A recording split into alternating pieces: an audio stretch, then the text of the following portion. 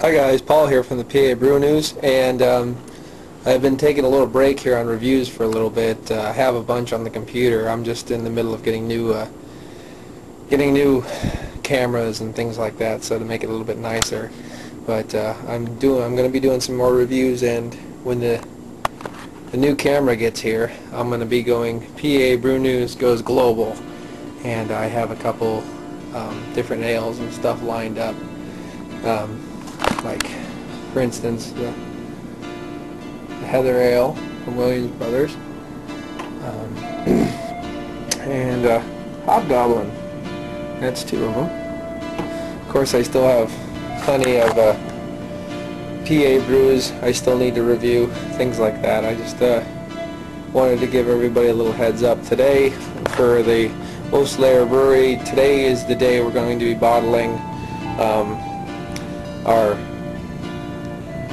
a Russian Imperial style oak, uh, aged in uh, brandy oak. So hopefully everything turns out pretty well. Um, still have to make the labels and stuff and get it out to you guys. So just want to let you guys know, and we'll do a shout out here to to Dave, Tuvar, uh, Simon, and Mel Ale Guy, Terry K, Beer Goggles Review, and Pete, Master of Hobbits. Just wanted to say.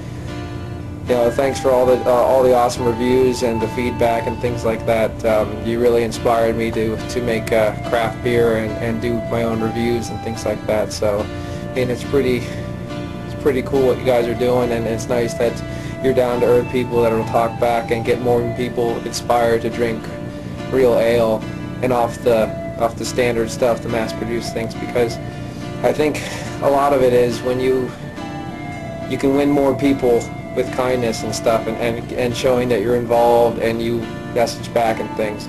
Because it's a giant war and no war is won in one battle. It's battle after battle after battle. So every time you you get one person to drink craft ale and stay away from the mass market that's one battle won.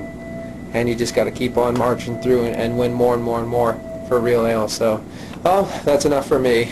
So, yeah, that's that's pretty much it. I just wanted to say um, you'll be seeing more reviews from me soon, and uh, cheers.